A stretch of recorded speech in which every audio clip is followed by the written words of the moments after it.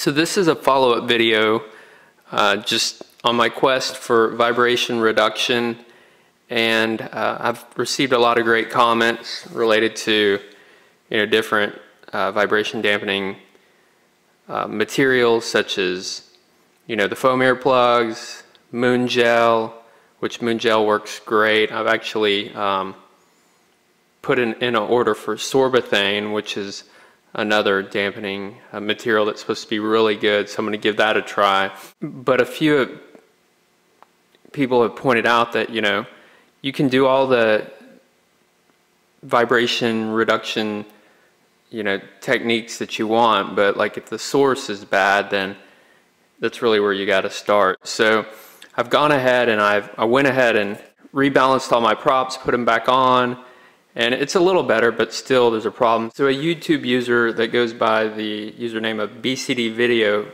posted a couple, couple of great comments today related to just these props. And so these are Gemfan props that, from what I've read, have a little bit of um, carbon in them, but I think they're mostly plastic. So these are 10 by 4 or 5 pitch props. And what I'm going to do is I have an iPhone app that I purchased today called uh, seismometer. I believe it's seismometer the sixth, or it's it's part of a multi-tool kit. But I downloaded just this version for 99 cents. Um, I think because if you buy the multi-tool, you don't get the data export. So what I'm going to do is I've zip tied my iPhone to the quad, and I'm going to take it up for you know and let it hover for about 30 seconds, then export the data and put it in a spreadsheet. And I'll also do that.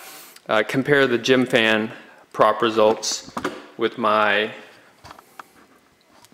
3D, 3D robotics quad that has the same, same uh, diameter prop, a 10 inch prop with a 4.7 pitch on it. So, um, you know, the APC general, I think are generally a, a better prop. So I want to try that and just kind of compare results to see if there's less vibration. And if the APC results look better, we'll uh, take the GoPro up and do a little uh, test video and see how everything looks. So what I'll do right before I take the quad for a flight, I'll just click the screen and I'll clear graph and then I'll go ahead and um, take it up for about 30 seconds, export the data, put it in a Google spreadsheet, and I'll do the same with the APC props, and then we'll um, compare the results. Okay, so I just completed the flight test with the um, Gemfan props and uh, grabbed that, that vibration data. And now I've mounted the uh, APC props. Now once again, these are 4.7 pitch, so a little bit steeper pitch than my Gemfans, but uh, we'll, we're still gonna give this a go let's take a look at our results from uh, the the the uh,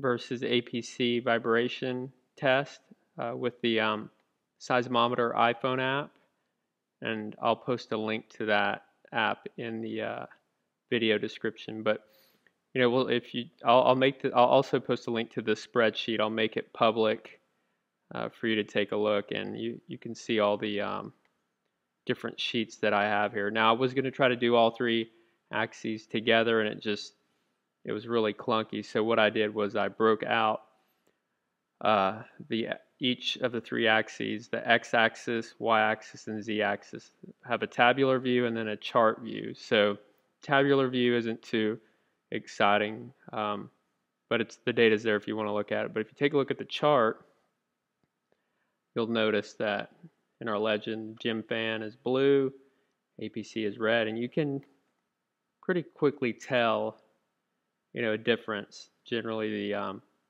the highs and lows of this chart um, for Gemfan are a lot uh, larger and smaller.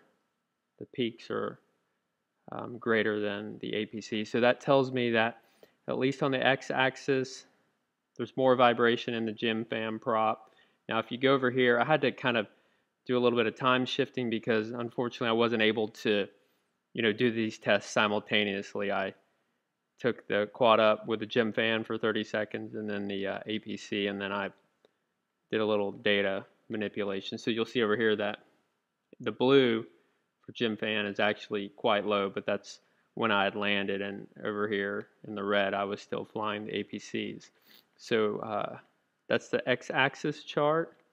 Y-axis, you know, if you look at this first glance, you know, without being too specific, it looks, you know, more or less like the data are, are about the same. You know, a similar amount of vibration on the y-axis uh, for both. And once again, I had landed in the Gemfan case and I was still flying the APC.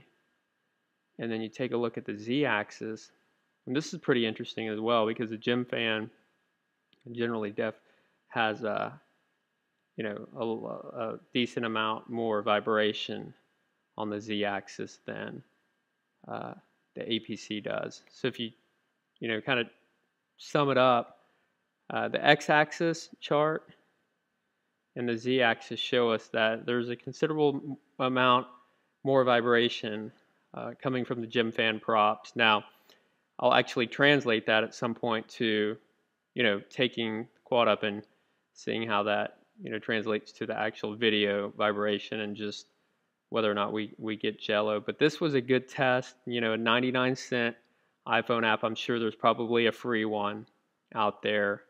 Um, that you can use to measure vibration. And I'll, and I'll you know, have a few different prop sets on order. So I'll do some further testing on those. But hope the video was useful. It, you know, it was an interesting experiment for me to do a vibration test uh, using the iPhone, and I'll continue to uh, experiment more. But please feel free to post any questions or uh, comments, and um, thanks for watching.